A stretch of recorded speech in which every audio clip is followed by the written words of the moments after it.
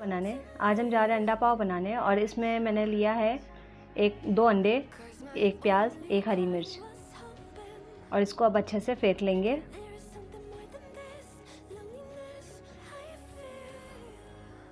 इसको अच्छे से मिक्स कर लेना ताकि इसका नमक वगैरह जो भी है वो अच्छे से मिक्स हो जाए।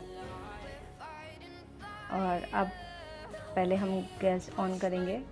तवा गरम करेंगे इस पर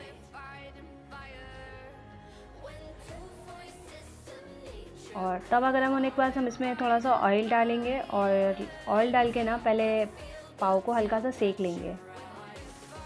और ये मैं यहाँ पे वेज मेयोनीज़ यूज़ कर रही हूँ बर्गर फ्लेवर में। और ये किसान का टोमेटो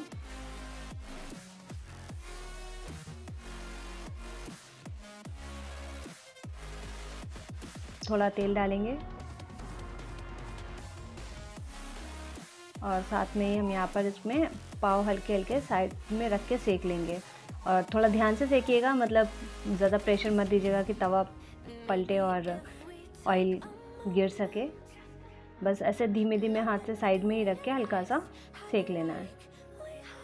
तो ऐसे पाव हमारे ना थोड़ा क्रिस्पी हो जाएँगे। अभी तो सॉफ्ट है मतलब अभी लास्ट टाइम तक अच्छे से क्रिस्पी हो जाएँगे। अभी मैं चारों, मेरे पास चार पाव हैं, मैं सबको थोड़ा सेक लेती हूँ। अब हम डालेंगे यहाँ पर अंडा। अभी हमारे पास चार पाव हैं तो हम इसमें से चार चार बार बनाएँगे। एक साइड से जब अच्छे से पक जाएगा, अगर आपको कच्चा खाना पसंद है हाफ़ फ्राई तो आप इसी के ऊपर पाव रख सकते हैं। जिनको हाफ़ फ्राई नहीं पसंद है, वो इसको दूसरी तरफ़ पलट कर भी सेक लें।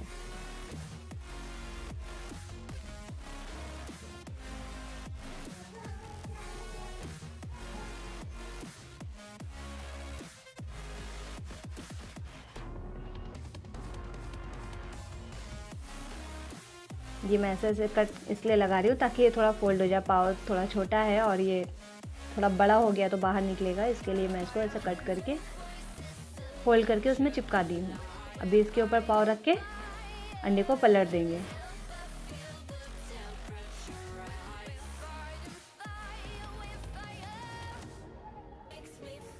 अब इसके ऊपर हम लगाएँगे मेयोनीज़।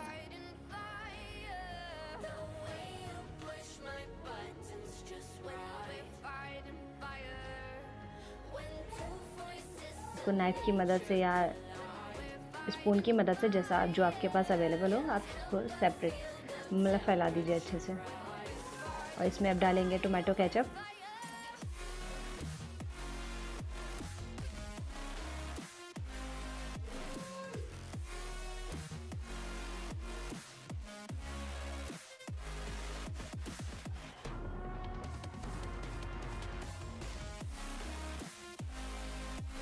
अब ये दोनों तरफ़ अलट पलट कर सेकने का है। तो एक साइड हो गया है अब दूसरी तरफ़ पलट कर इसको सेक देंगे अच्छे से।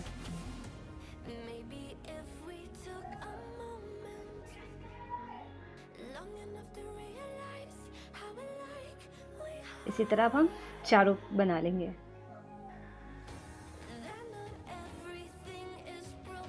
बहुत आसान आसान है और बहुत जल्दी बन जाता है और आप लोगों को खाने में भी बहुत अच्छा लगेगा।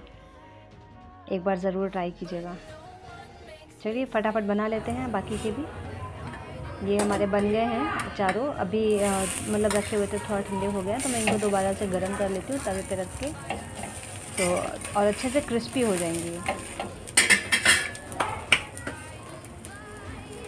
ये हमारे रेडी हो गए हैं एक पाव। गर्मा गर्म क्रिस्पी एंड टेस्टी एक बार आप लोग ज़रूर ट्राई करें और हमें बताएँ कि आप लोग का कैसा बना। देखा, मैंने ये, एक बर्गर बना लिया है। बोल रही हूँ, बन गया है और खा रही हूँ। यकीन मानो, बहुत टेस्टी है।